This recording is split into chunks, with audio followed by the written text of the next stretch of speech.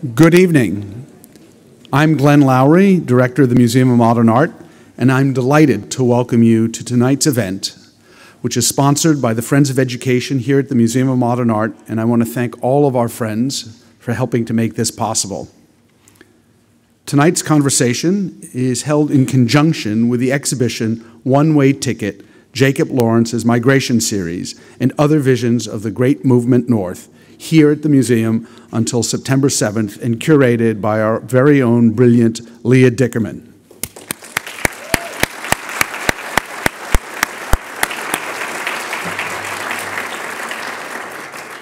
It is a stirring exhibition with Lawrence's epic visual narrative at its heart.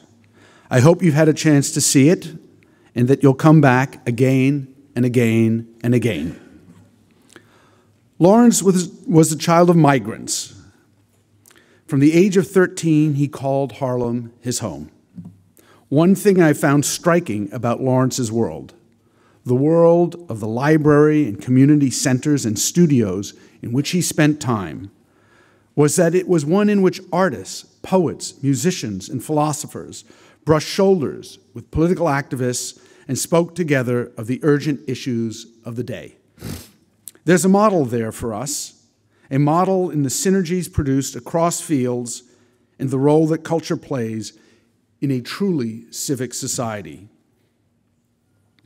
Lawrence's work tells us, above all, that history matters, that black history matters. He tells us that he makes works about Toussaint Louverture and Frederick Douglass and Harriet Tubman and the Great Migration because these things mattered to him and to his community. They were the things that people spoke of on the streets. Black history mattered in Lawrence's circles and in Lawrence's moment because it was a way of taking control of the narrative and countering other more pernicious narratives. History is just as urgent today. Tonight's conversation is staged to explore the long history of Jacob Lawrence's concerns. With us this evening is really the A team, the all star team, a trio of leading voices fighting for social justice in our country. Khalil Muhammad is the director of the Schomburg Center for Research in Black Culture. He's become a friend of the museum in the course of this project, which was done in collaboration with the Schomburg Center. He has served on the exhibition's advisory committee.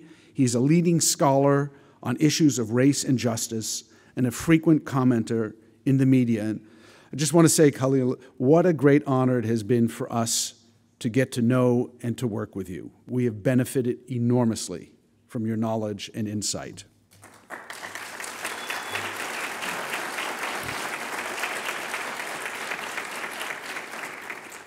Sherrilyn Ifill follows in the footsteps of the great Thurgood Marshall as the leader of the Legal Defense Fund of the NAACP, the leading civil rights law firm in this country. And Sherrilyn, thank you so much for making the time to share your knowledge with us.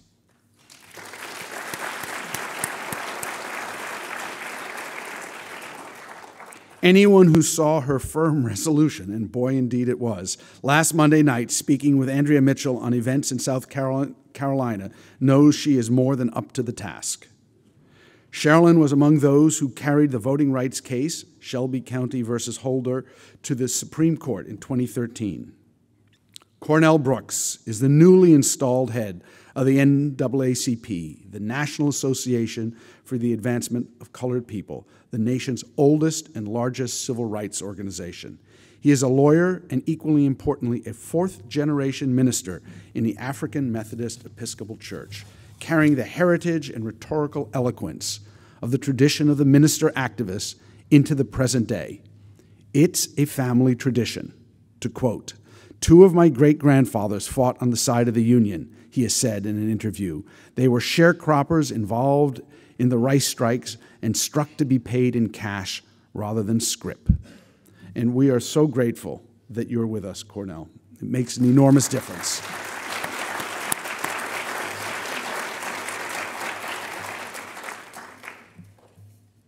I want to just take a moment to express our gratitude for your work on behalf of all of us who hold equal justice to be a central tenet of American society.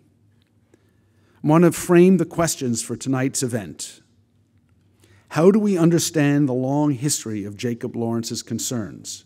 How do we understand the relationship between Lawrence's Great Migration series and current events today? And how can we position our understanding and knowledge of these momentous and critical events to make our society a better place? Khalil, let me turn the proceedings over to you.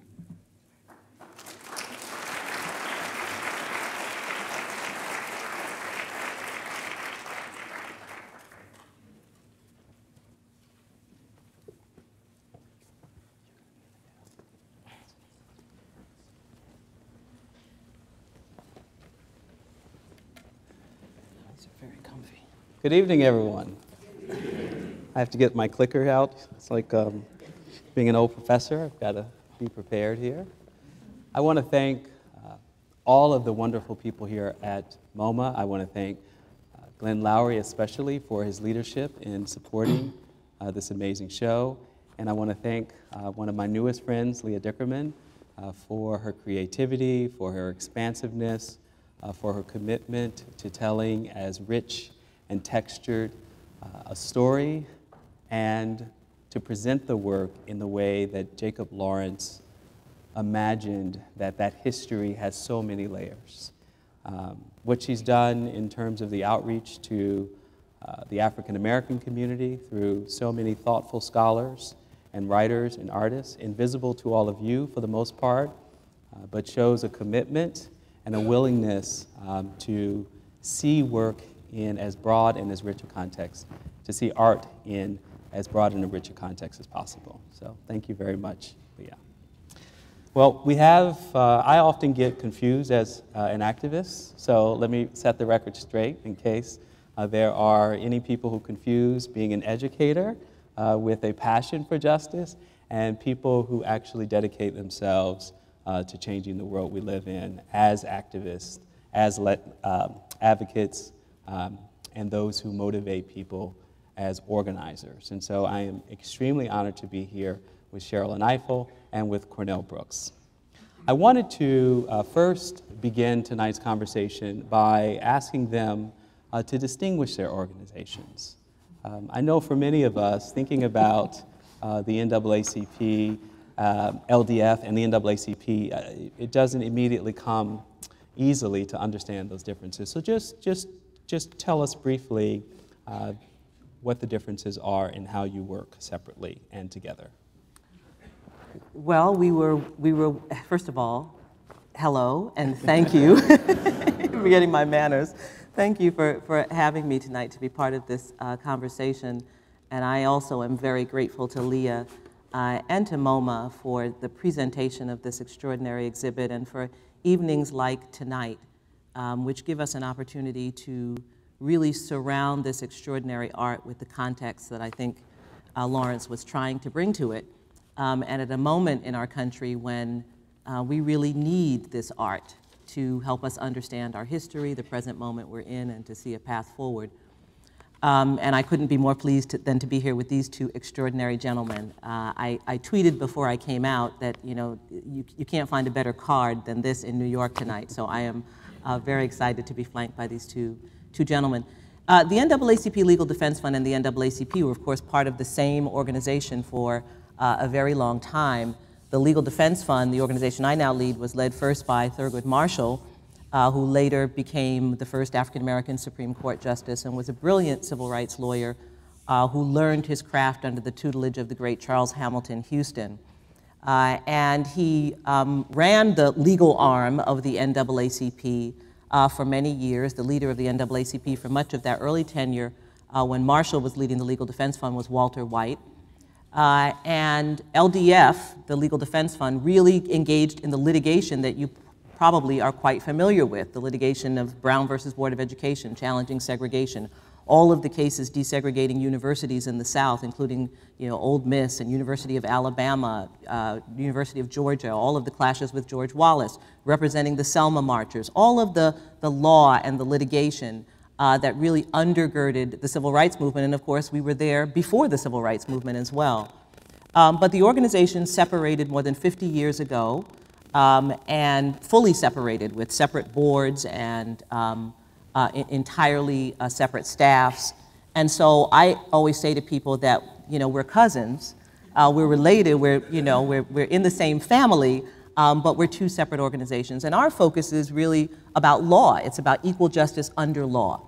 So our organization is comprised largely of lawyers, um, but we also engage in policy work and research and advocacy work. And in fact, this year uh, is our 75th anniversary, and we're launching, uh, applause, applause, applause. And one of the things we're doing is launching something called the Thurgood Marshall Institute, which is a hub within the Legal Defense Fund of researchers and organizers and policy folks to kind of deepen and broaden our litigation work. But we actually work very closely with the NAACP, which remains the nation's oldest and premier civil rights organization. Uh, and we work and represent NAACP chapters throughout the South. Cornell and I are in, in great communication with one another, and we share many of the same aims. Um, and so it's actually a great relationship. So, uh, good evening to uh, everyone here, and I want to um, echo Sherrilyn's uh, sentiment of appreciation. I'm delighted to be here, delighted to be a part of this conversation, and um, so inspired uh, by so many people who uh, are patrons of art, um, but also advocacy and social justice. So, the NAACP came into being, uh, was birthed near the turn of the century in terms of 1909 in the wake of a horrific uh, race riot in the uh, home place of, of President Lincoln, Springfield, Illinois. And in the ashes and embers of this horrific uh, race riot, we came into being.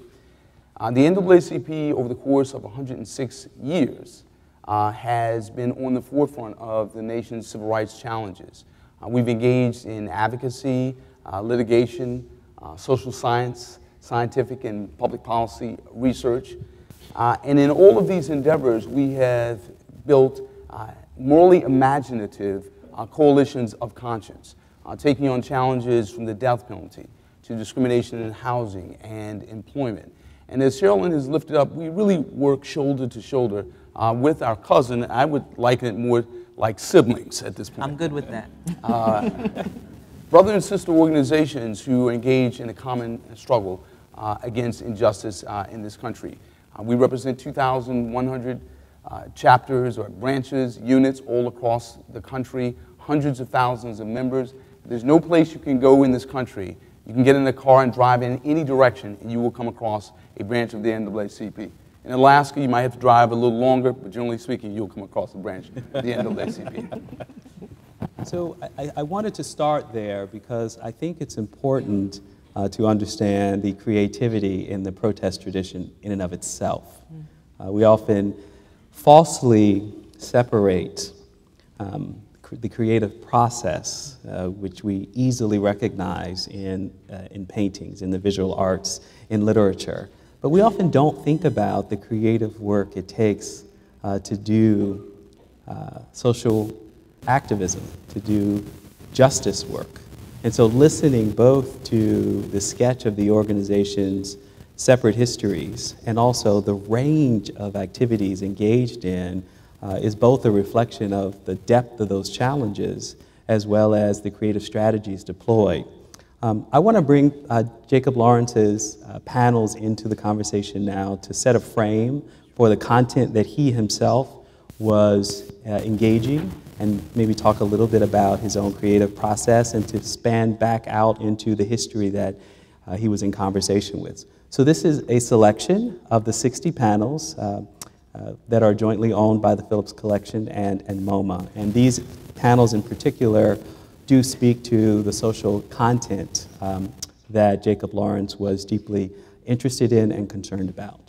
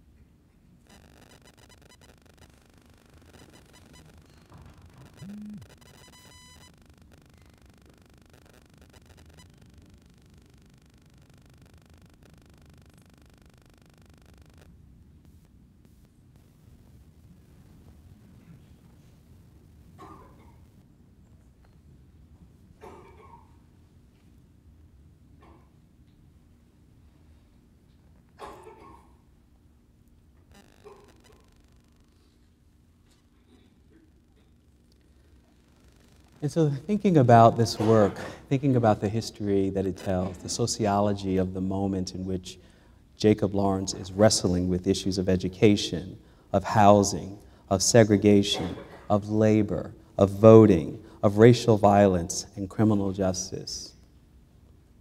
How do you understand the relationship of art and politics as organizations?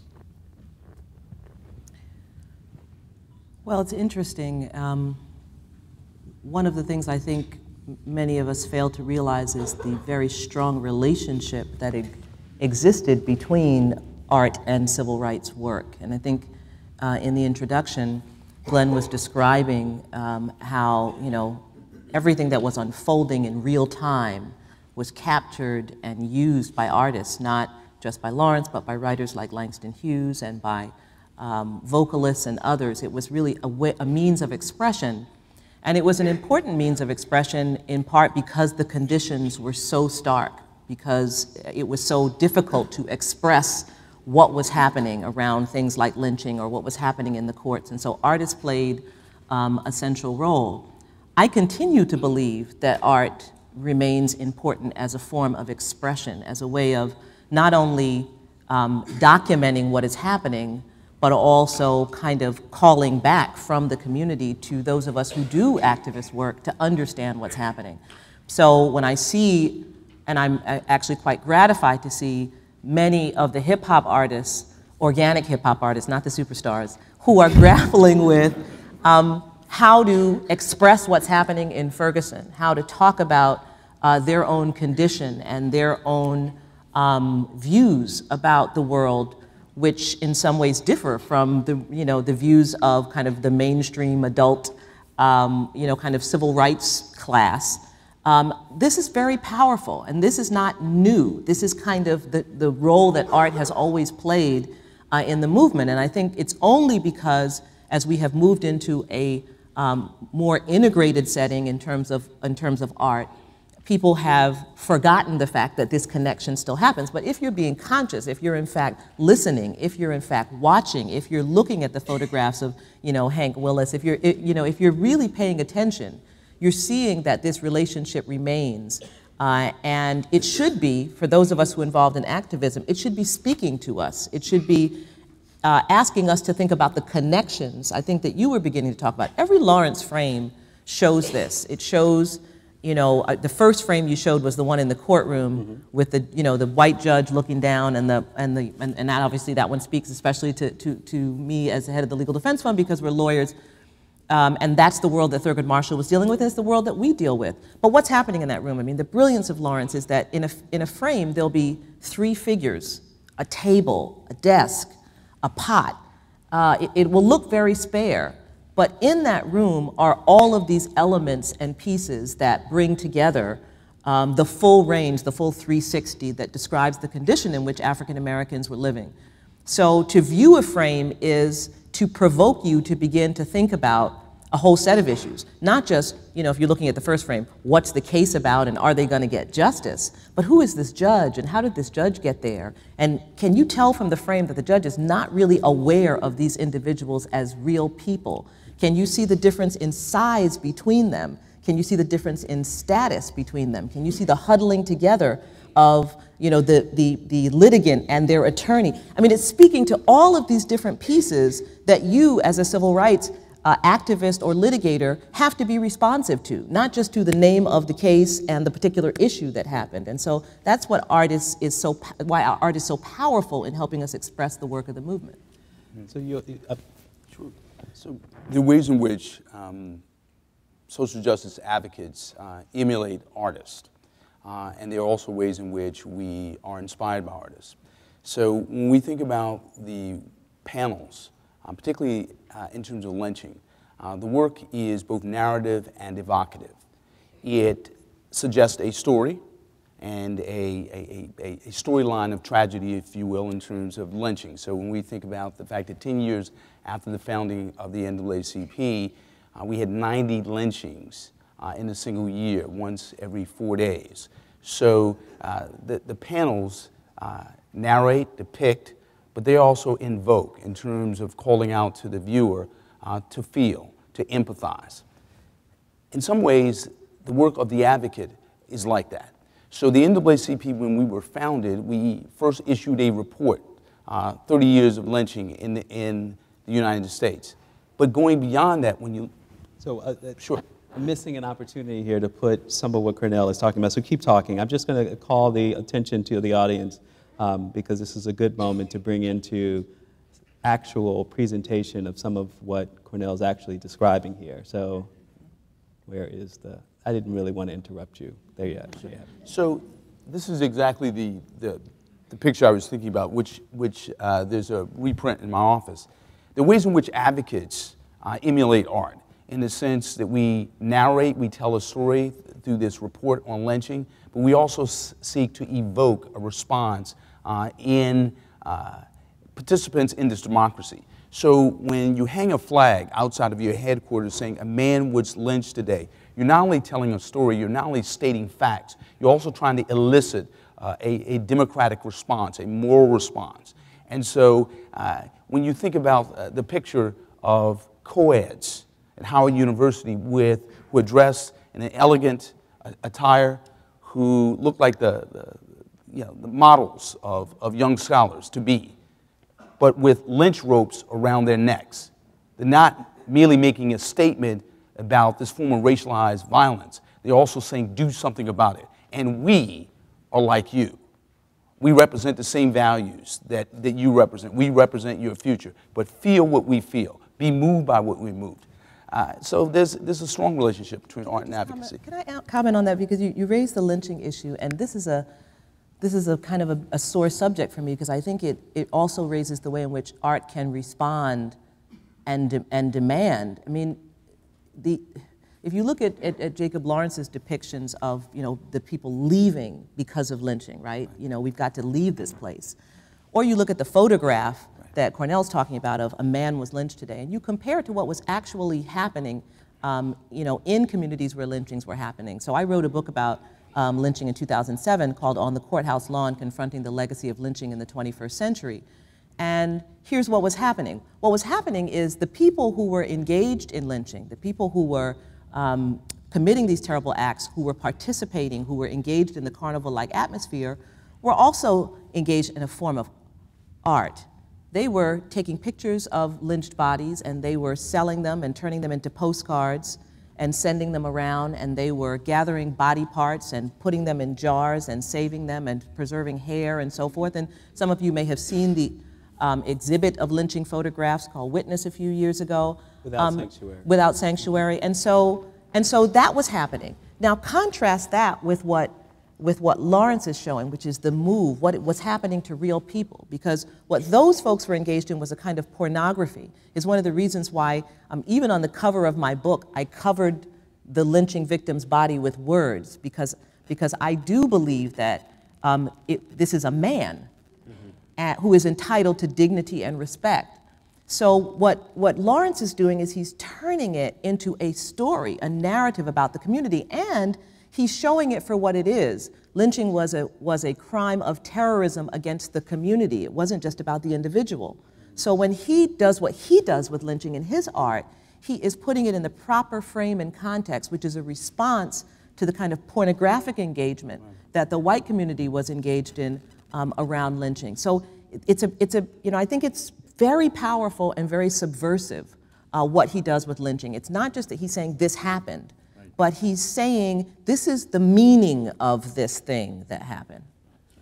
I, um, I want to talk about lynching a, a little bit longer because it just so happens that Bryan Stevenson uh, has an organization that focuses on indigent defense uh, for mostly uh, death row inmates. Uh, it's called the Equal Justice Institute. It's in Alabama. Bryan Stevenson is a, is a lawyer and has been doing this work now for at least 20, 25 years.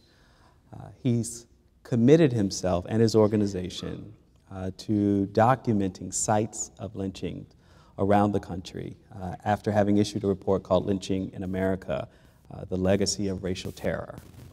And it would strike many people as completely contradictory uh, to the political achievements of this age that here in 2015 would there be the need to actually come to terms with this legacy. And so part of what I want to think through is is Jacob Lawrence just like these young people expressing the requirement of dealing with a social crisis of racial terror that already two generations of black people had already had to deal with. In the same way that we might think, how sad is it that in 2015, 50 years after the civil rights movement, that we'd be producing a report, that someone would have to spend the time and resources to pre pre prepare a report on lynching in America. So I, I, I just want to play with time a little bit. Well, so I want to I want to challenge the premise a little bit Okay. because um, lynching is actually distinct in that it was surrounded by silence. And the reason that silence has to be broken is because it is so connected to events of today. When, when I was writing this book, the reason I wrote it is because I was a civil rights lawyer, first at the Legal Defense Fund as a young lawyer, and then in Maryland, and I did mostly voting rights work, and I would go into communities, and I was working on a highway siting case, an environmental justice case. And when I was in a community and I asked about the history of discrimination, people in the community would always tell me about some act of violence that happened. Uh, when I was in Maryland, they told me about the last two recorded lynchings in Maryland that happened in 1931 and 1933 in the town where I was bringing the civil rights case. But it had never been discussed. It wasn't in the newspaper. It's kind of like the Tulsa race riots where the edition of the Tulsa World was missing, you know, from the library. It was shrouded in this secrecy. Black people said you had to be quiet because they feared the, the terror and the pogroms that followed lynching.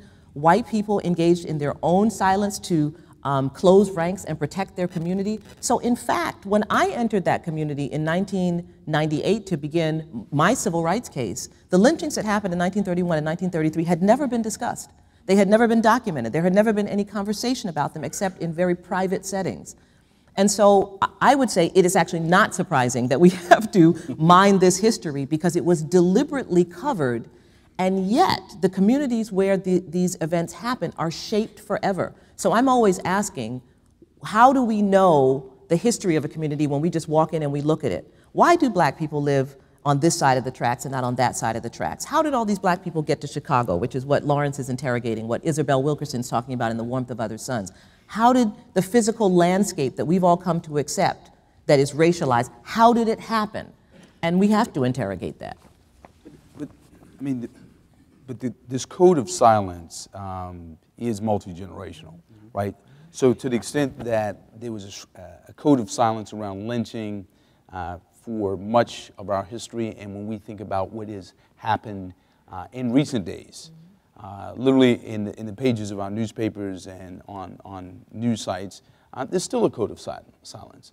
Uh, it's broken, it is disrupted by videotape, um, by bystanders with their cell phones. So when we think about what's happened in, in Ferguson, uh, in, in, many ways you have young people taking uh, cell phones and digital technology and reducing a complex, violent narrative to some very simple elements. Jacob Lawrence takes, takes primary colors, stark images, uh, geometric shapes, and produces a, a, a elementalist, if you will, moral narrative. Same thing. But it, it, it's a way of arousing uh, the conscience of people and getting people to think about the moral essentials, that this is in fact an outrage. Um, but in, in either instance, uh, if he did not do what he did, if these young people did not do what they are in fact doing, we would not be paying attention. That's exactly, I, I, I mean, two, two really great uh, responses because I think that's exactly what the tension is between Lawrence looking back a generation to his parents' generation and seeing the source of the push, uh, the violence, that, uh, that, that spark of we are no longer going to live under these conditions as a 20 something at the same time that these 20 somethings are. So that co- connection between art and politics around the same racial justice crisis is exactly the generational tension. These young people, like Lawrence himself, are wrestling with maybe the work isn't finished here. Because I think one of the things we lose in the, in, in the translation of the Great Migration series is that as much as it is sociological in, in unpacking themes that continue to resonate in the North as he talks about what it means to be in the North, it is also looking back. He's explaining how we got here. And that relationship to that past and present, I think, uh, is a tense one, in the same way that we are intensely concerned about the fact that we need to still wrestle with this, this past around racial violence, particularly as it plays out in exactly the terms you've just described. But isn't it also um, aspirational, right? So, to the extent that uh, Jacob Lawrence is talking about this mass movement, this really is, Isabel Wilkerson said, a, a flight, if you will, from, from violence, from Jim Crow. Uh, it's uh, less a matter of migration than people being evicted, if you will, uh, by brutal circumstances in the Deep South. Um, but it's also a, a migration of aspiration. This is what the people are fleeing from. This is what they're moving toward. Uh, that's both geographic, but it's also moral. In other words, the, the courts do not treat us as citizens uh, in our own country. Uh, what then do we do? What then do we aspire to? In a sense, that's what is in fact happening now. Because when, when young people are, are video, videotaping or are capturing uh, with images something that they deem to be horrific and unacceptable and unconscionable, they are also saying, we believe other things are of conscience and moral and right. We choose not this, we choose that. Yeah. There's a, a, wonderful quote that is featured in the show. It's, um, it is one of the books that, uh, that we know Lawrence read and used as a kind of uh, source material for understanding the migration. Uh, the book is by Emmett Scott, who was a secretary um, in the War Department, as well as um, someone who worked with Booker T. Washington. Uh, so, in this quote, um, we, we get a little bit of, sorry, I pushed the wrong button. We get a little bit of a kind of historical echo. And so I'll give everyone a chance uh, to read it.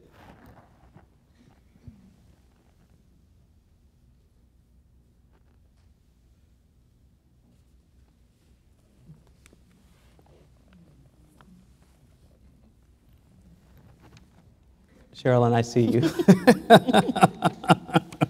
so, where do you want to begin? Well, where to begin?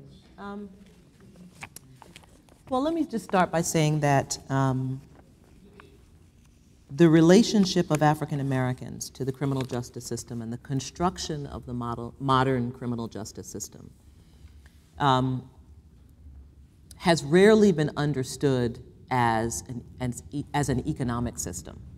It, is, it has mostly been seen as a social system, as a system of you know, a penal system, but it has not been understood um, as an economic system, and it's not been understood as an economic system that is deeply embedded in the fabric of American economic history.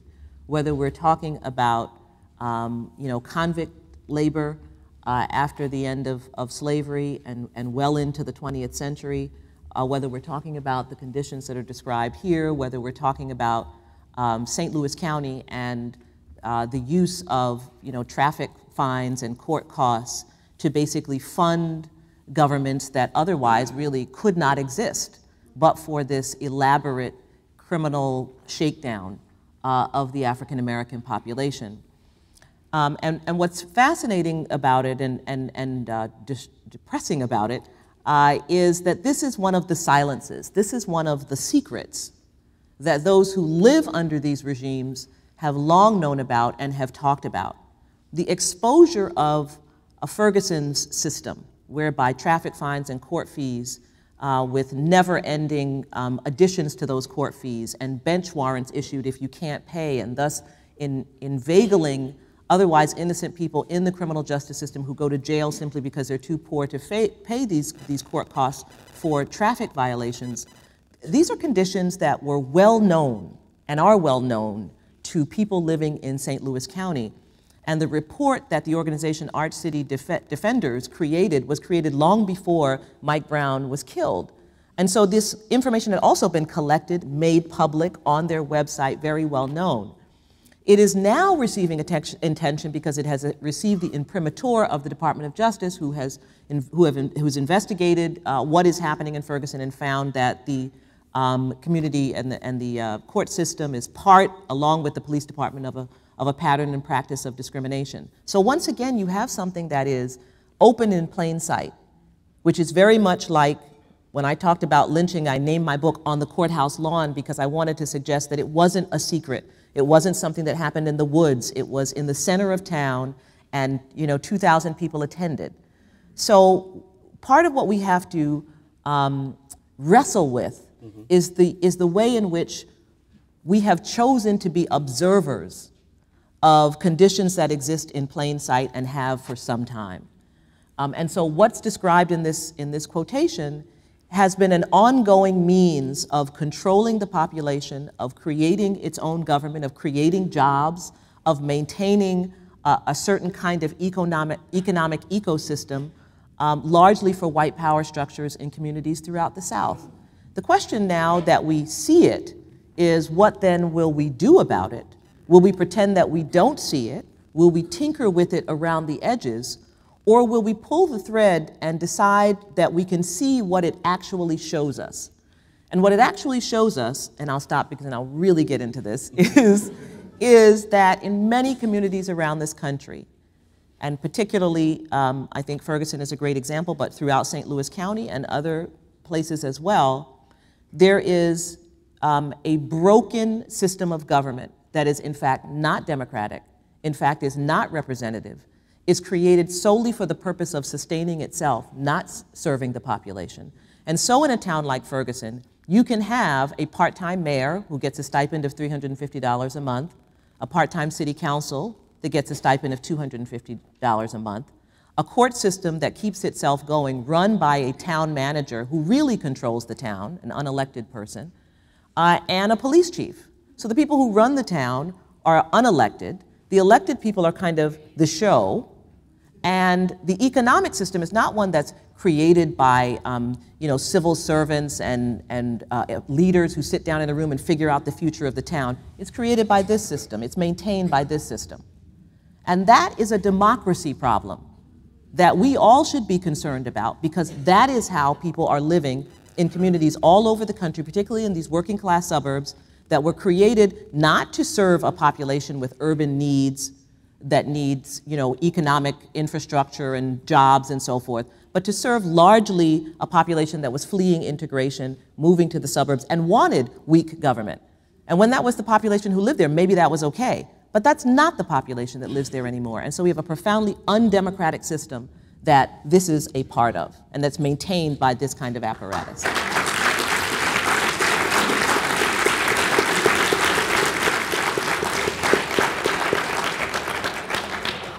I, I want to ask um, Cornell if this history lesson, this lesson, this was a lesson to Lawrence. Let's keep that in mind.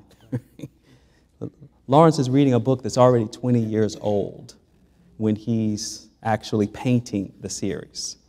So, my question to you is on the ground, in community after community, you said you can't travel more than a few miles without running into an NAACP branch.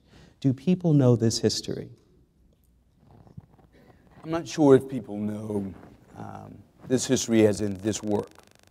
I don't mean this work. I mean, do they understand how thin the line is between the past and the present in the very kinds of communities where, you, where the national organization is represented with the very kinds of anti-democratic policies that Sherrilyn just described? Absolutely. So think about it this way. The, the, the challenge that Jacob Lawrence was responding, responding to artistically and in terms of the scholarship that he was exposed to in the last century. Think about this century. Two books. Douglas Blackmon's Slavery by Another Name. Michelle Alexander's The New Jim Crow, describing a period of penal servitude in the case of Douglas Blackmon, uh, an era of mass incarceration in the case of Michelle Alexander. When I travel the country and talk to people, they talk about this criminal justice system as really a criminal justice system that is profoundly rooted in the free market with the assumption that some people should not be free. That's a reality. So when we think about the fact that you have 2.3 million Americans behind bars, one out of every four adults with a criminal record, 65 million Americans, one out of every three young people being arrested by the age of 23, a architecture of exclusion in this country that means that if you have a criminal record, your ability to work, to be a taxpayer, to take care of your family is profoundly impeded. As one Supreme Court justice put it, it's like getting a life sentence of unemployment. Mm-hmm. The people get that. Even though they may not be steeped in the scholarship of Jacob, Jacob Lawrence's scholarship, a contemporary scholarship, but they understand it. Last point here. When a young person from Ferguson said to me, uh, well before the Department of Justice report came out, that there's something wrong about the fact that one of her neighbors left home during the summer, went away on vacation, came back after a number of rainstorms. The grass in her front yard was pretty high. They were issued a ticket because they didn't pay the fine. They were subs- subsequently issued uh, uh, subject to arrest. That's wrong. Uh, one does not need to be a legal scholar to understand that that is profoundly wrong. The point being here is the people get this, and I'll add one point to Sherrilyn's the, the difference between what happened in the early part of the last century and now, the size and scope of this problem reaches well beyond black and brown communities. We have criminalized our republic, and not just black and brown people. That's uh, uh much more dystopic than um, I thought it was just black and brown people. Um, so I want to I want to push back a little bit because I know that um, we want to both give agency to people mm-hmm. who experience these realities, and you've described an organization that raised the red flag long before the Department of Justice did. And, and Cornell, you're talking about the literacy. Of your membership and not only matching their experience with information, but something did go amiss between the far reaching consciousness of the civil rights decades. And let's pitch them starting in the 1940s when Lawrence was working. And, and Leah writes beautifully um, in the curatorial essay called Fighting Blues about a popular front that is mobilized for social justice, about a government that is accommodating a left that is very powerful and mass based and is moving and shaking. Uh, that it's in that context where the March on Washington movement is born. Uh, uh, a slide here depicting the March on Washington movement, uh, which is the, the threat uh, to embarrass uh, the federal government, to embarrass FDR before a world stage um, in the midst of fascist Germany. So you have the burgeonings of a mass social movement that will increase speed from the 40s to the 50s to the 60s. And then something happens. And I'm not sure what year that is. I'm not sure which of the causes, but, but a politics of personal responsibility begin to emerge. So whether or not people are themselves able to diagnose the fleecing that is happening in the criminal justice system.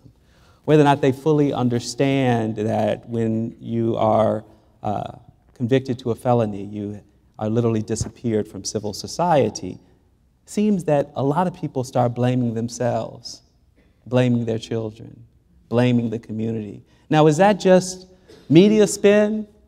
Or if we were measuring consciousness from the 40s, in a moment like this, in the 50s, in the 60s, something in the 70s, 80s, and 90s. Something changed in terms of consciousness. And, I, and the only pushback here is not that you aren't right when Douglas Blackmon's book was published in 2009 or Sherrilyn's book published in 2007, but give me something from the 1980s in the midst of the war on drugs. I got you. I got you. All right. I got Thank you. you. So, so in this very room, I had the great honor and privilege of screening the film um, about the Black Panthers, Stanley Nelson's new film, which is extraordinary.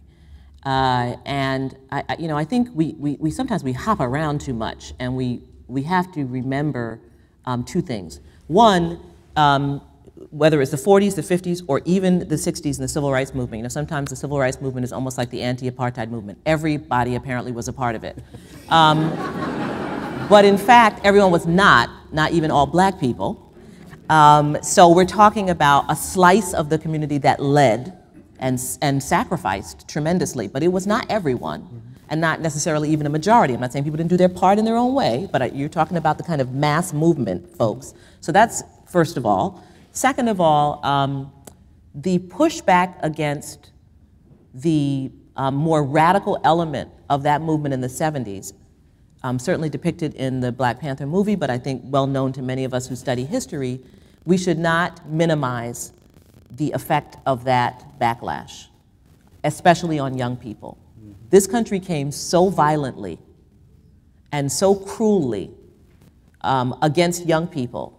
By the way, not just black young people. You know, the, the, the shootings at Kent State, the, these, are, these are psychological moments in this country that we sometimes gloss over. It's like, oh, the 70s. No, these were actually formational moments that at the very time we were going to the moon, we were allowing the killing of our own kids. Uh, and there was this violent response to the kind of more militant um, uh, efforts of the movement. So I think that created a certain kind of culture, a certain kind of fear. The last thing I'll say is we sometimes forget as African Americans the second part of that, which is that we are Americans. And what that means is that we are often subject to many of the um, eddies and streams that are affecting the larger culture. And so we were here in the 80s too. The 80s was the me generation and Ronald Reagan and all that stuff. And um, there was a kind of culture that many people kind of got on the bandwagon with. And the idea of that culture was very materialistic, very narrow, very much exalting capitalism, and it carried this personal responsibility, and everybody can make it and be a millionaire. And we were not immune from that. Yeah. We were not immune from that. So the idea that we somehow kind of skip from, you know, the civil rights movement and then we just, you know, where we were just great and we were all on the front lines and, you know, and, and speaking truth to power, and then suddenly, you know, we arrived here and we were, we were slackers, is kind of, is kind of less of, of the way it really went, is that we are responding to the response to us, and we are also living in the ecosystem that is the US, and we are absorbing um, it until until, as always, just as it was true in the 60s, we are called back, usually by moments of terrible violence, and very often by young people, to say, wake up, that what you have accommodated yourself to is intolerable.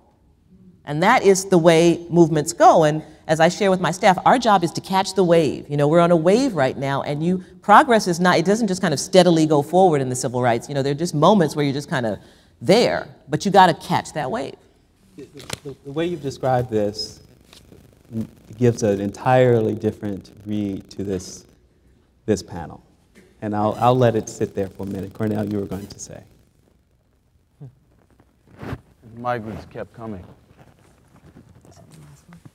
When I, when I think about this panel, I, I, I think about these uh, arcs in American history.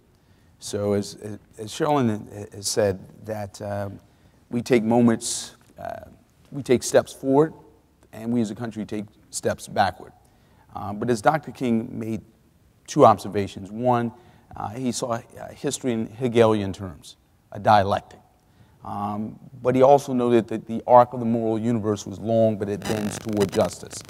The point being here is when we look at American history, there are moments when we there are moments when we um, uh, have made tremendous uh, strides forward and then step backwards. So if we look at uh, the, the uh, first Reconstruction uh, in terms of the 1860s, 1870s, uh, this break, if you will, on the horizon, a, a, dawn of possibility and hope. African Americans being elected across uh, the South, educational possibilities, public education, expanding some, some uh, loosening of the reins with respect to women uh, and their rights. Uh, and then we wake in the 1950s, 1960s again. Uh, but the point being here is there are some in this country who've argued that we are on the, on the precipice, if you will, of a third Reconstruction. That there's a, there's a moment here that we could seize it, we could stride forward, we can make tremendous progress, or we can succumb to the forces of re- reaction and regression. But at those moments, there's always a juxtaposition, if you will, between tragedy and hope. Uh, things that we can't tolerate, that we can't wrap our conscience around, and the sense that things can be done differently if we choose uh, to seize those possibilities. Doesn't that so perfectly capture this last panel in the migration series? Because it's not clear, right? The only thing we know is that people will move. So, through all that he narrated from that past, looking backwards, to his presence, where he is wrestling with the realities of this, where he's wrestling with this, he is still thinking that in the midst of tragedy, there is hope. It's very, it's, it's very ministerial vision, Cornell. Very AME. Very, very, very, very, very, very rooted in in, in, in a social sure context that is informed. We'll claim it. That, that is informed. Well, you know, everybody's got a little bit of AME, right? That, that, that is part of the story. Um, we can't leave this moment, uh, and index cards are floating uh, through the audience, but we have to talk about Scottsboro. And we have to talk about Scottsboro because Scottsboro looms large in uh, both the exhibition, uh, but also in the consciousness of the period. Uh, and so this is where uh, both we know that in your world, the, the, the legal infrastructure that we live with today is partly a response to some of the due process revolution that happened, that, that, that Scottsboro is part of a long tail, and you can give us kind of the highlights. Um, and at the same time, it's not the best chapter in NAACP's history either. So let's, uh, let's talk a little bit about Scottsboro. And the reason partly is because the exhibition really does capture the influence of Scottsboro. I'll show a couple of, um, and we'll come back to some of these, kind of moving around. Here's one. So this is Langston Hughes, who wrote four poems, published them in 1932, and then visited uh, the young men in Alabama uh, and read them uh, this poetry. Uh, so thinking about that relationship between the artist uh, and the social crises of the moment. Uh, here is, oh, oh, mm, well, that, there's one more, but in any case, you get the point. Uh, so, Scottsboro. Tell us, so nine young men uh, literally accused of raping two white women on a railroad car in a small town in Alabama. Uh, they are uh, essentially about to be uh, sentenced um, in very short order uh, except that they do get defense. And it's not the NAACP, no, it's but it's the International Labor Defense. Mm-hmm. So pick up the story. So that's, it's really fascinating. So um, the NAACP, and at this time we're part of the same organization, right. is slow on the take. They're nervous about the Scottsboro case. So the two th- strands um, that I think are important, and, and what becomes interesting is the response of uh, the NAACP and, and Thurgood Marshall and others um, in response to their own slowness on Scottsboro, which is kind of interesting. So, International Labor Defense is a, a communist affiliated organization who come in and defend the young men. Um, and it reveals two strands that are happening at the, the, during the period. One is the politics of respectability. Right. The idea that, um, you know, the, there was a real hesitance about taking on cases with parties who were less than perfect. The idea that if we show, you know, if you look at all of the cases, you know, involving desegregating universities, there was always the search for the perfect plaintiff. You know, the first case that Thurgood Marshall and Charles Hamilton Houston win, civil rights case they win, is challenging segregation at University of Maryland Law School, and they win the case in 1935 in Baltimore. The search for the plaintiff Donald Murray, you know, took a while because he had to be just so in order t- for them to believe they could present the case and win the case. And so Donald Murray is an Amherst grad, and, and uh, Charles Hamilton Houston went to Amherst. He's incredibly good looking. He has, you'll see him, he's got fantastic suits. He comes from a good family in Baltimore. I mean, there's a, there's a search for this perfect. So there, there are always these cases. Now, it's interesting because you know, many of the cases that uh, Charles Hamilton Houston was involved in, that Marshall was involved in, involved people who were accused of horrific crimes in the South, absolutely. But there was always a concern about taking on cases, and especially where interracial rape was the charge of, you know, taking on a case in which, well, you know, who knows how it's going to turn out, and this may not be the best case to kind of present all of the issues that we want. So they're slow on the take. So that's one strand. Second strand is fear of communism and fear of being affiliated with communist affiliated organizations, which ran very strong through the NAACP and was certainly one of Thurgood Marshall's kind of um, enduring um, um, concerns.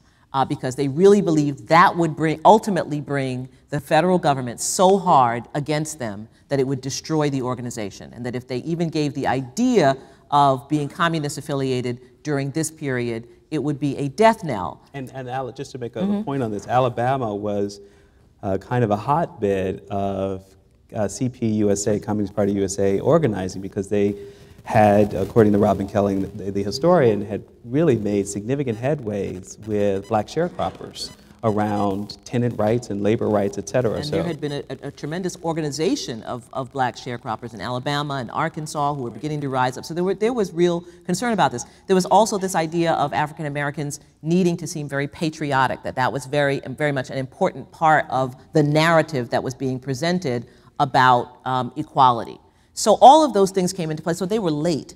And ILD began the litigation, and the NAACP came in afterwards, after they were shamed, basically, by being so late.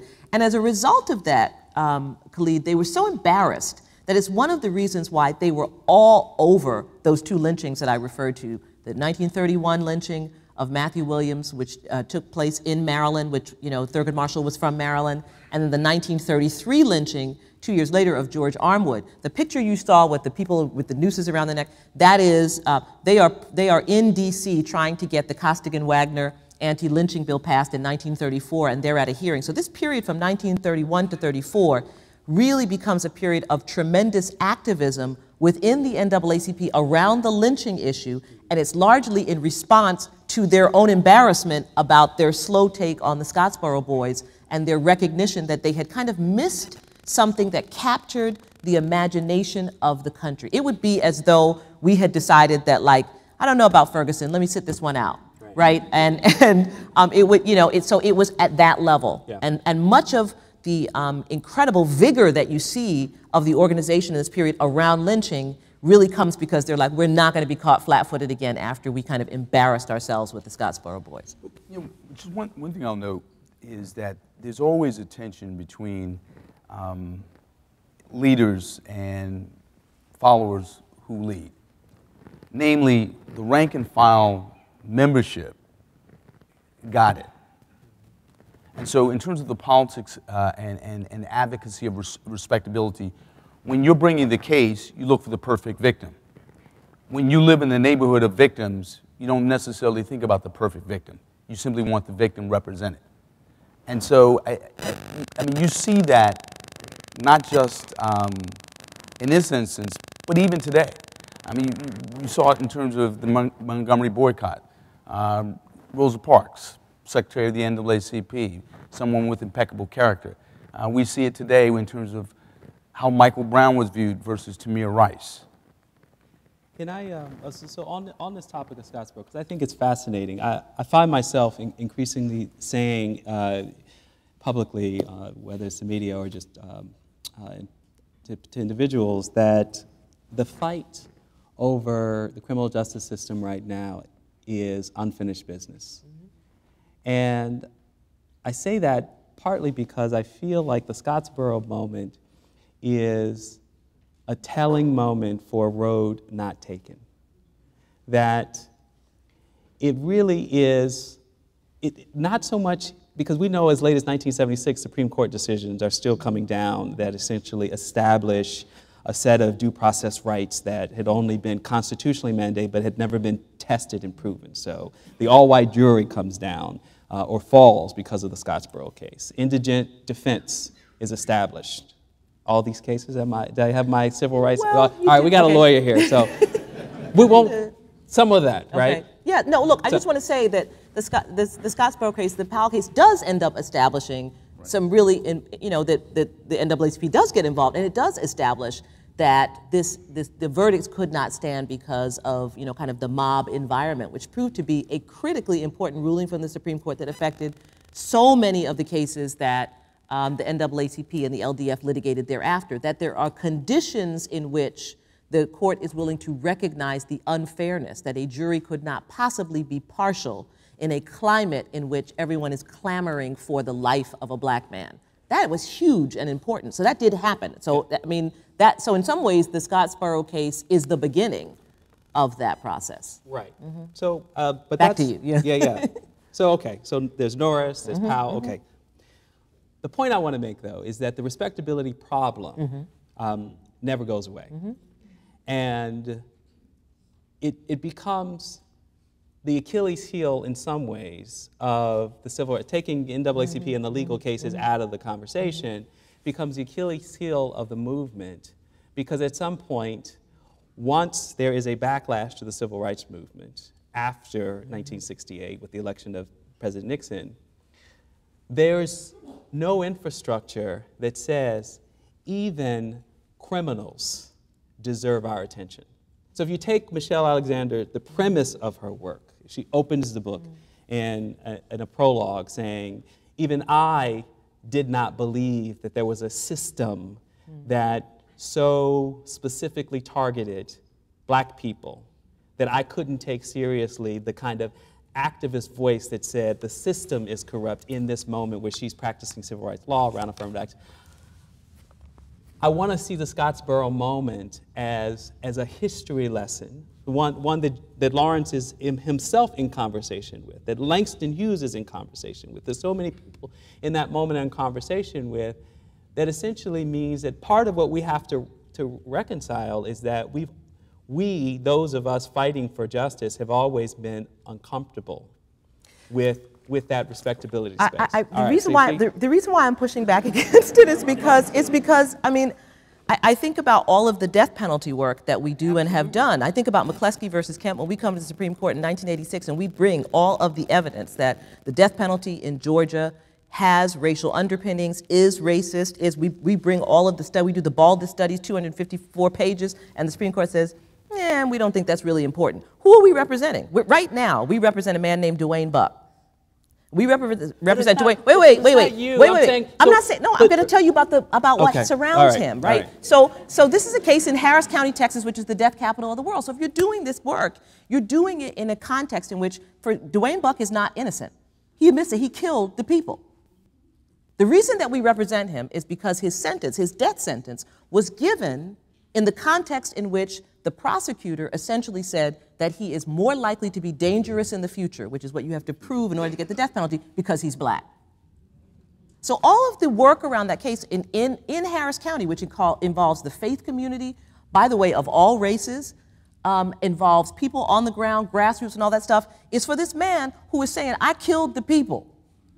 But we are saying no matter who you are, when racism infects the justice system, it is a stain on our democracy. It affects you and me. And so, what I guess what I'm trying to say is that I don't think that respectability politics doesn't exist. It's one of the reasons why, after the Mike Brown killing, um, people were saying he was a gentle giant, he was an angel. And you know what? Maybe he was a gentle giant, maybe he was an angel. But I was saying at the time, that is not necessary. You do not need to prove. So, so, so I think there is, you're right that there's an impulse. There is an impulse to say, you know, this person was perfect. But actually, that's not what I'm seeing. What I'm seeing is people are saying, so, you know, people are pushing back against why did he run in the case of Walter Scott. People are pushing back against the idea that you have to prove that the victim is perfect. And I find this very encouraging. I think it's a strand that exists, but I don't think people are buying it at this point. Yeah, I was, about to say, people are ambivalent, right? They, if given the choice between a perfect victim and an imperfect victim, they prefer the perfect victim. But that doesn't mean that they won't advocate on behalf of people who are, who are routinely victimized. And so when you think about Ferguson, the Department of Justice report that was issued with all of this great statistical evidence, that came about as a consequence of the NAACP writing the law requiring the statistics before Michael Brown was killed. There were five, there were five complaints filed against uh, municipalities in St. Louis County before Michael, Michael Brown was killed. So the very people who were ambivalent about the videotape showing Mike, Mike Brown uh, uh, appearing to rough, to rough up a, a, a shopkeeper were the same people saying all young people deserve to be treated fairly. So yes, is there the ambivalence uh, in communities across the country? And if you look in the 70s and look at the fear of crime, the Rockefeller laws, so I mean, in this country, there is, there's, there's been this, this push for tougher sentencing, for a, a criminal justice system that will mete out uh, punishment and protect us from violence. But there's also been this push on the death penalty. We've seen a, in the wake of that, a push to equalize sentences in terms of crack cocaine and powder cocaine, the NAACP on the forefront of that. So are, there, so are our advocates uh, without ambivalence? No.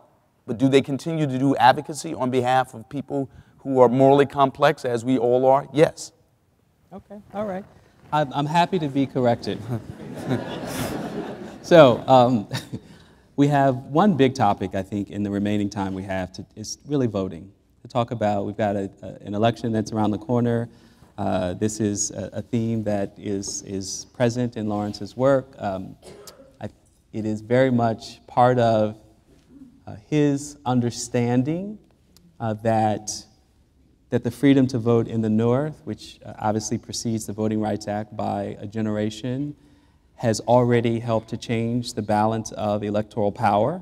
Uh, this, this panel is created three years before Adam Clayton Powell Jr. Um, is elected, although to Congress, although he's already um, advocating, he's already organizing as pastor of Abyssinian Church. Uh, here's a, a, a, picture of him and Don't Buy Where You Can't Work campaigns. Uh, Oscar DePriest had already been elected in 1928 from Chicago. So the vote matters. It is part of the Democratic coalition that comes into existence precisely in the 1930s. So where are we now with Shel, uh, Shelby? Um, where are we? You know, the, the um, first photo that you show, showed, the Lawrence photo of uh, the people standing in the line to vote, it, I looked at it and it reminded me of, uh, so you all know about the Shelby County case. Um, we represented black voters in Shelby County, Alabama, who had challenged the um, method of electing their county leaders, their town leaders, and, um, and we won in the, in the court below, but when we went to the Supreme Court, the Supreme Court decided that um, Section 5 of the Voting Rights Act, which was a key section of the act because it prevented jurisdictions throughout the country, particularly in the South, from making changes to their voting system without getting um, approval from a federal authority, either the Department of Justice or a federal district judge. Uh, and um, this is a, a, key part of the act because it allows, it, it, it, ensured that voting discrimination would be stopped before it could happen. An assessment had to be made first of what the effect of the change would be on the minority population in the jurisdiction. And when the Supreme Court removed that protection, you know, it became a free-for-all, right? The, the Secretary of State of Texas said, we're free and clear now. Uh, the, the you know, Attorney General of Texas, you know, within hours of decision said, we're going to impose our voter ID law, the strictest voter ID law that we had successfully litigated and struck down, both under two provisions of the Voting Rights Act, under Section 5 and under Section 2. This is the, the voter ID law that we currently um, challenged and won in the, in the district court again, but it's on appeal and there'll be an appeal heard in a few weeks. That's the voter ID law that does not prevent our students, African American students who attend Prairie View uh, College in, in Texas, from using their student ID to vote, something they had been able to do for years. This new law no longer allows them to use it, but does allow you to use a concealed gun carry permit uh, as, as ID to vote. Now, Texas is a full employment state for civil rights lawyers. It's just, you know, you just, just every, you could have an office down there. Um, so, so when I saw the picture that, that you showed, um, this picture, what it, what it made me think of was um, Morgan County, Georgia, where after the Supreme Court decided the Shelby case, um, the, the county leaders tried to, to close uh, all but two of their 28 polling places. and to place those two in a police station. And that's what I thought of when I saw the man standing there. Um, and we were able to, you know, engage in other groups in activism to, to really stop it. But that's, it's like playing whack-a-mole, because remember, it's not just, you know, state voting laws like voter ID. It's every town council, it's every city council, it's every water district, it's every school board election. It's moving polling place, places, it's eliminating seats, it's going to at-large elections. Um, and so what the Supreme Court has done is really devastating, and we have, you know, our effort to try to move uh, Congress to amend the Voting Rights Act, but we also have, you know, cases that are headed back to the Supreme Court, including this Texas voter ID law case that I was just talking about, as well as many others. And so we're in a critical moment. I mean, I say to people all the time, the two, the two markers, the two kind of um, Maginot lines of citizenship for black people in this country is our engagement with the criminal justice system and our ability to vote and participate in the political process. We know whether we're full citizens, you know, through those two things. And you know, if you can be just plucked off the street and beaten, killed, and you haven't done anything, shot in the back, running down the street, you are not a full citizen. And if you cannot participate fully in the political process, you're not a full citizen.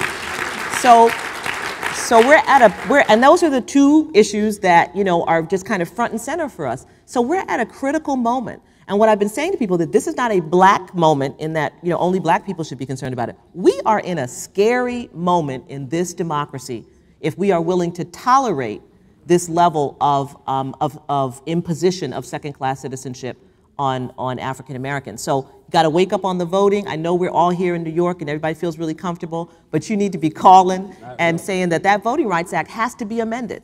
Because, you know, Section 5 of the Voting Rights Act co covers three boroughs in New York, too, because of language minorities, you know? And so, and there have been cases in New York with the failure to provide Chinese language ballots in Chinatown and everything. So, we, you know, New York is not immune from this and we need this protection.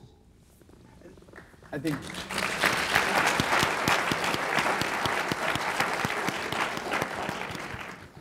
I, I think one thing that's important for us to appreciate is that protecting the franchise is not something that can be relegated to uh, voting rights uh, litigators. Uh, this really is a challenge that is, has to be squarely borne by ordinary citizens. The point being here is Congress will not amend the Voting Rights Act. Uh, we, what we have right now is a Voting Rights Act that represents a vaccine that you can only use once you come down with the disease, right? In the sense of once your rights are violated, if you can find a lawyer, if you have the resources, you can then go to court and seek whatever relief there is to be found. Very difficult. As we've seen over the course of the, 100 years of the NAACP's history, you need litigation, but you also need advocacy. You need people on the ground. And, the, and we have to think about this issue far beyond uh, the, the kind of racial and ethnic vocabulary that we're used to thinking about these issues. And, and I'll give you a simple analogy. When my mother was 16 years old, uh, she went off to college and she uh, demonstrated for civil rights as a, as a teenager. Uh, 50 years later, uh, she has multiple sclerosis. She can't march. She lives in Georgia. And she called me up one day and she said to me, You know, I'm worried about being able to vote. I need to find my passport. I need to find my ID. I'm concerned about this. The point being here is, is if race is an impediment, is it wrong? If your disability or your age is an impediment to voting, is it wrong? I think it's wrong in both instances. And that case has been made to the country. This, we cannot, uh, as, as talented a lawyer as, as Sherrilyn Ifill is, this cannot be delegated to the Legal Defense Fund. That is a responsibility we have to bear and we have to make.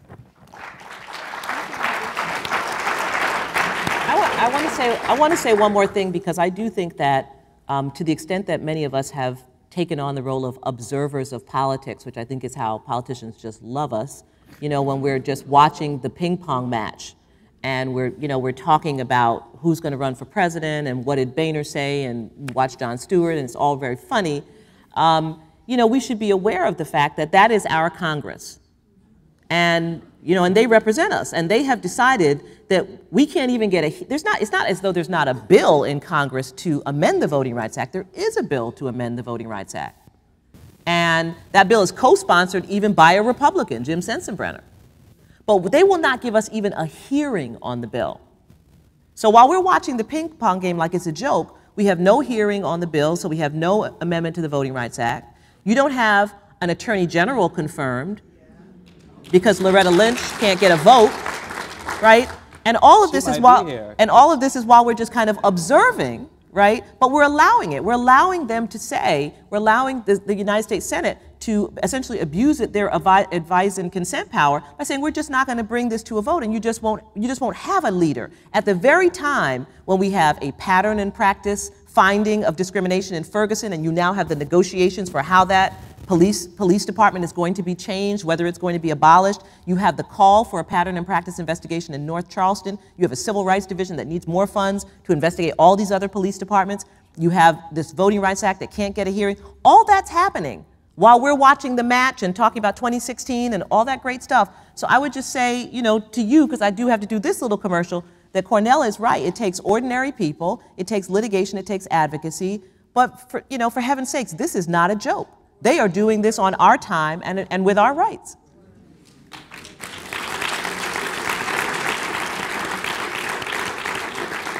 So I'll- I'm going to start uh, ask, asking some of the questions that the audience posed, but I want to give a plug to MoMA and the Schomburg because it also takes our cultural institutions um, to engage and to be part of that process.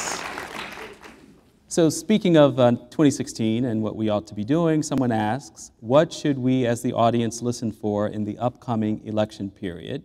And what might not be said that we should demand is answered? Say that again. So, what won't the politicians talk about unless we force the conversation? That's conversation? easy. Yeah. So last week, after the Walter Scott video was shown, I was on uh, Andrea Mitchell and I, and I said this, and I mean it to this day. Every person who believes that they are prepared to lead this country should be asked about that video, should be asked about the issue of police violence, and what is the proper federal government response. How should the federal government deploy the billion dollars that they give to police jurisdictions all over this country? Um, I mean, they should be asked a series of questions. If we, if we go through these debates and we allow presidential candidates to purport to be talking about domestic policy, but not talk about the issue of the killing of uh, unarmed African Americans, you know, that we've now seen throughout this country, and this culture of policing that has become so, that is so violent and so oppressive, then that, then that shame is on us. They will not on their own bring it up, I can assure you. We will have to force the issue. But if we want it, we should make that and the whole issue of mass incarceration front and center. Can I add a, co- colorful point on this? Um, we, were, we, we all were witness to the 2012 debate between Romney uh, and Obama at the town hall, and the question of uh, gun control came up in the wake of the Newtown massacre. Mm-hmm. Yes. And essentially, the answer turned on divorce rates and broken homes. Yeah. So I think it's not just that the topics are raised, but, answer. but we don't accept unacceptable answers. There you go. There, you answered the Yeah. question. That's it. One other thing I would add is, is this. I mean, so if we think about the Great Migration as a migration toward opportunity uh, in a region with a profound, if you will, income inequality problem of the time, here we are in the middle of this new century uh, with a profound income inequality problem and a profound social mobility problem, meaning the children of the African American middle class are not as well situated as their forebears. What is true of the African American community in particular is also true of other communities. So, we, so what we have is social immobility related to race and zip code that crosses racial and ethnic lines and income inequality happening at the same moment. Asking our politicians what policies do you have that speak to the ability of people to move up in terms of opportunity? Because here's the thing in 2015, it is not a matter of leaving the South to go to the North. Where do you go? Point one. uh, point two, the second issue would be the vote. Uh, it is profoundly ironic and hypocritical for our elected leaders and public servants to aspire to elected office via the vote and not provide a committee vote on protecting the right to vote. Yeah. We got to make that an issue. Yeah. This is a really great question. Um, so, if you could escort one contemporary public persona, political figure, celebrity, etc., parenthetically, to see this exhibit, who would you choose Ooh. and why?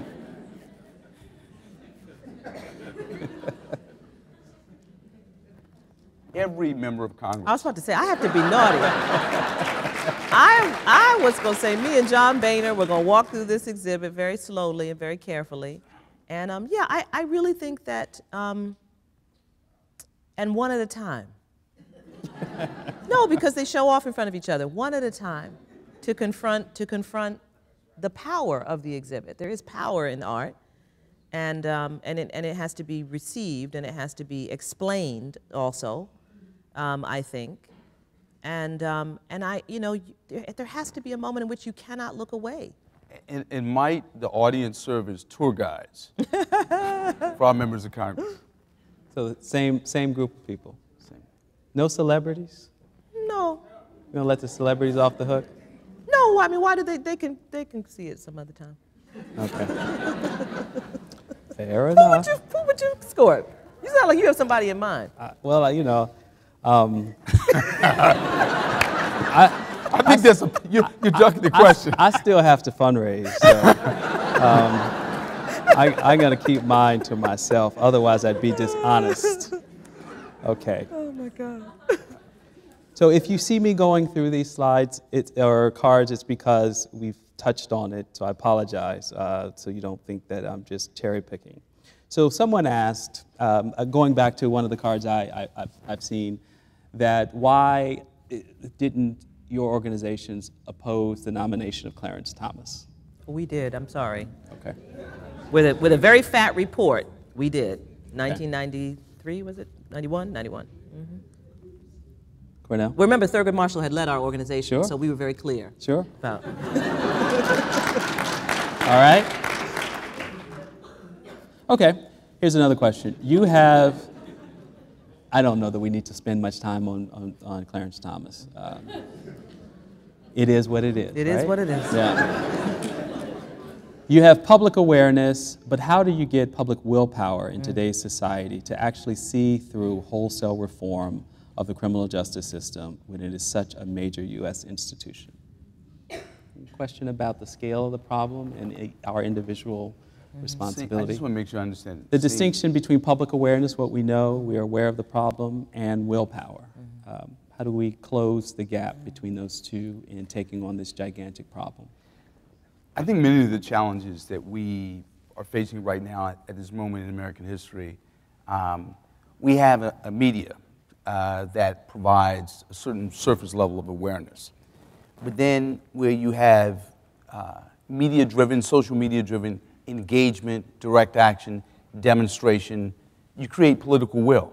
And I think we've seen that. When, we, when you have a generation of young practitioners of democracy who energize the com- country around criminal justice issues.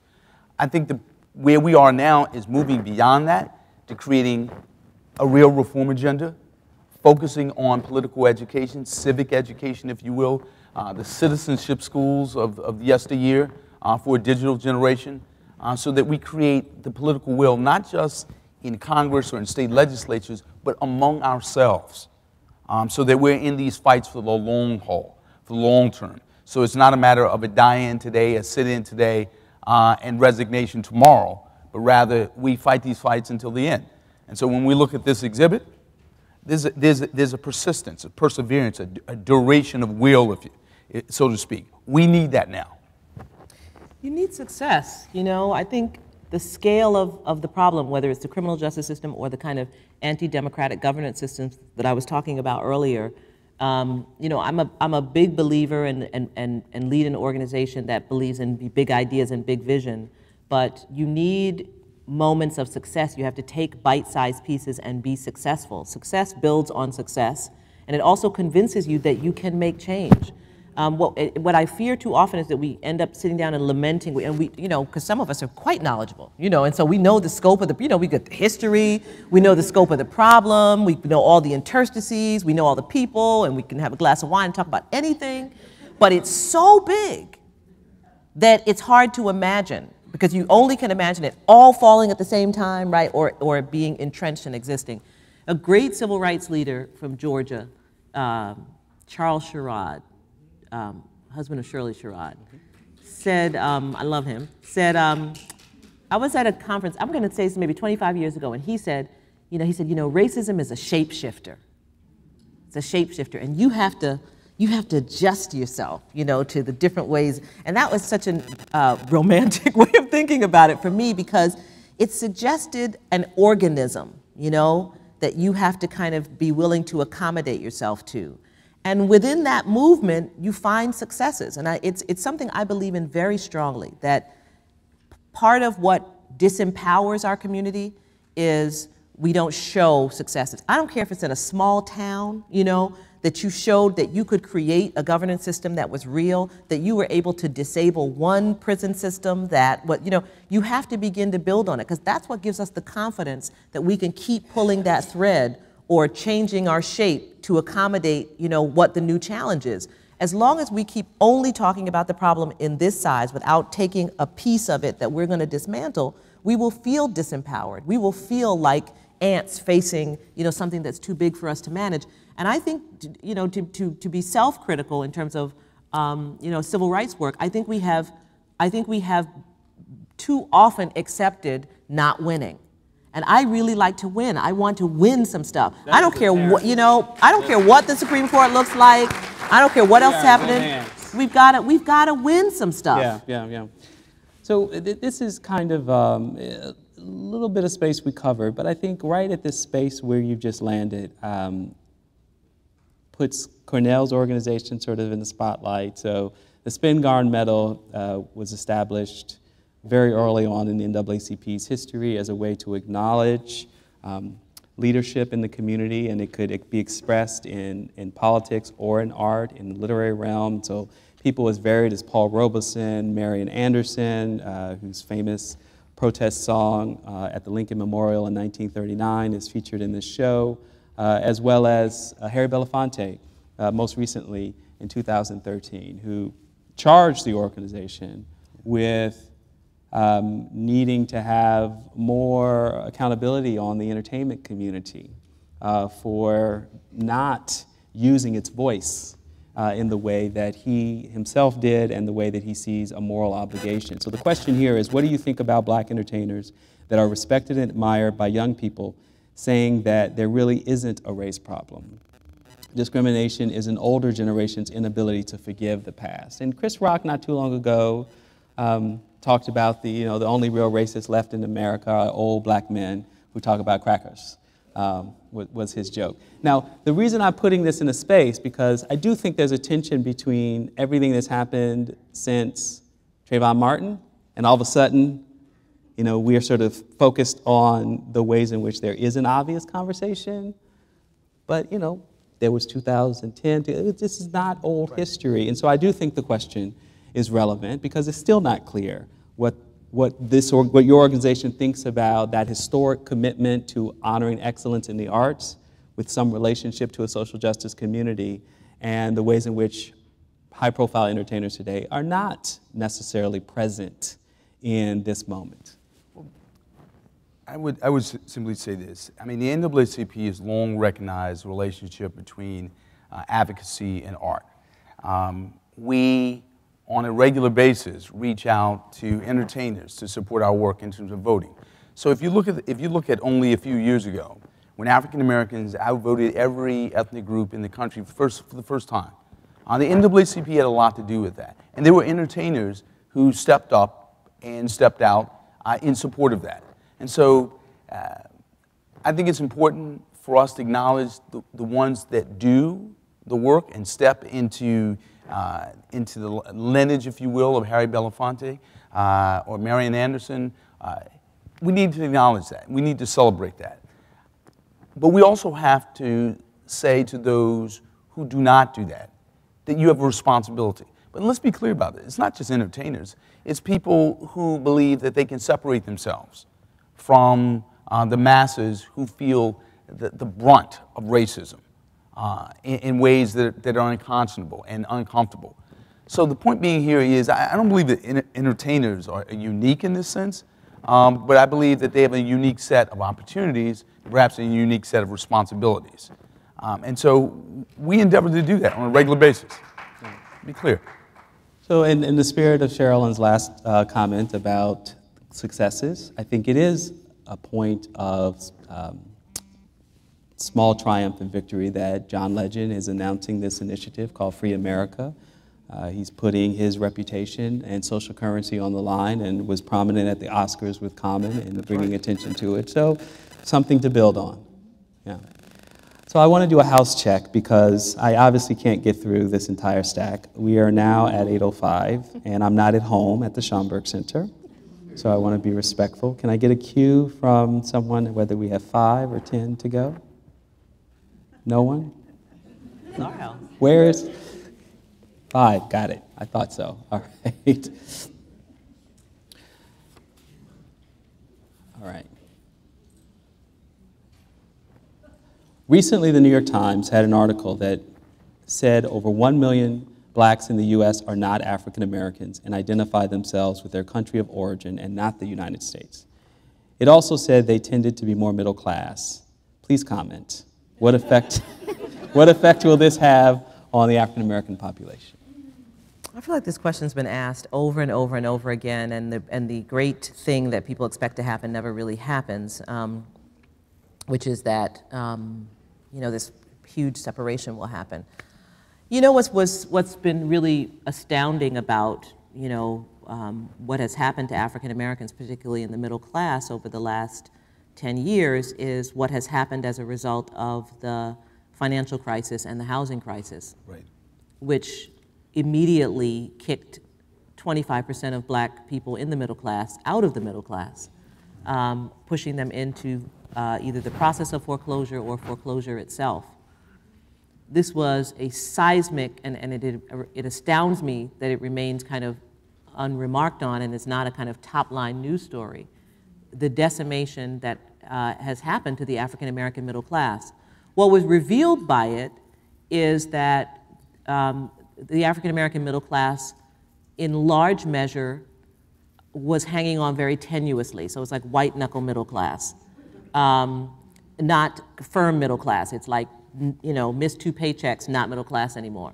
Um, and so that was revealed by the crisis and then also shaken, you know, um, by the crisis as well. So the idea that somehow your class status is going to allow you to describe yourself in some way that is not African American, that's going to mean you're kind of separated, I think has yet to be kind of borne out.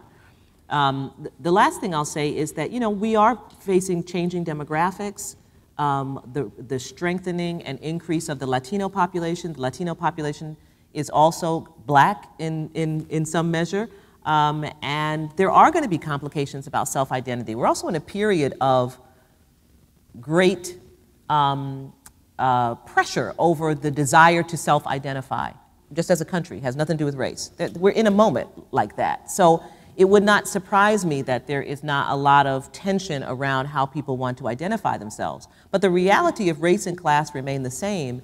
And if we had more time tonight, you know, we, the one issue we haven't talked about that should be on the table, especially in New York, um, is the issue of housing segregation, which um, at the end of the day, if you want to talk about the unfinished business, mm-hmm. is the unfinished business, right, right. Um, uh, you know, of your and my organization uh, and of the work of civil rights, and ultimately is the strand that pulls together mobility, economic stability, education. voting, education. It actually is the hub of everything. And so all the distinctions about, you know, whether I'm, uh, you know, African American from Africa or whether I'm Caribbean or whether I'm, while the housing segregation continues to be what it is, I don't think there's going to be a tremendous amount of currency in terms of separation that's going to come from that until we get our hands around this um, housing segregation issue, which is, when we talk about scale of issue, is about as big as the issues involving the criminal justice system and some of the governance issues that I was talking about. Just one thing I'll note, in, in terms of immigration, the fact that you have so many um, uh, Americans of African descent who are not necessarily African American as we've narrowly defined it, says a whole lot about how we look at immigration reform in this country. Mm-hmm. Uh, in other words, we need to look at it uh, in broader terms, ethnically speaking, without the presumptions that we often make in terms of the educational background and the, the means that people uh, come to this country with, uh, or the what they have to give. So, so I, I, think it's critically important. Secondly, thinking about uh, this exhibit. When we think about the Great Migration, we're really talking about uh, intranational immigration, if you will. And so that was an immigrant story, with folks like uh, my people from South Carolina going to New York, immigrants, if you will, within the country. So I think that does speak to where we are in terms of how we look at immigration now. Yeah, that's a really uh, a useful observation given that we are at the 50th anniversary of the Immigration Act of 1965. Um,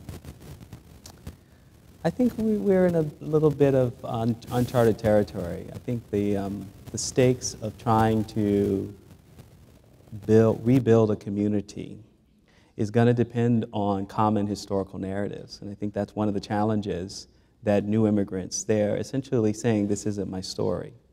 And one of the things that mattered to the Caribbean immigrants that populate James Baldwin's Harlem was that they were quick to embrace this as their story. Uh, Arturo Schomburg, the founder of the Schomburg Collection, um, though deeply concerned about uh, Spanish imperialism in the Caribbean, and Cuba and Puerto Rico in particular, quickly identified as African American because he recognized that, that what the United States was doing to black people here was enough of a community to fight for black people elsewhere. And, and so in some ways, coming back to where we started with, with Lawrence's migration series, maybe the people who need to come see it are our young new immigrants. Um, to start a conversation about what it means in this country to have been black mm -hmm. and what it might mean to the future mm -hmm. of their blackness. I think That's we're going to stop there. you got to stop there. That was perfect.